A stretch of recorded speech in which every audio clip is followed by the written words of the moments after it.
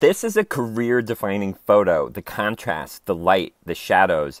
It's so gorgeous. How is this photo not more well known? It's because the photographer Sabine Weiss was working. She was a working photographer. She didn't have time, like a lot of her male contemporaries, to sit around discussing theory, writing books. She said, quote, from the start, I had to make a living from photography. It wasn't something artistic. It was a craft. I was a craftswoman of photography. And she did work all the time. Starting in the 1940s, she shot fashion. She worked for the New York Times, Life, Time, all of the great magazines of the day. And this incredible street photography was her own work. It was her personal work. She wasn't out trying to get this stuff in galleries. She was too busy working. So if you want to know the great women photographers of the 20th century, like Sabine Weiss, you need to look for them because they were not out there trying to get your attention. They were putting in the work and earning a living.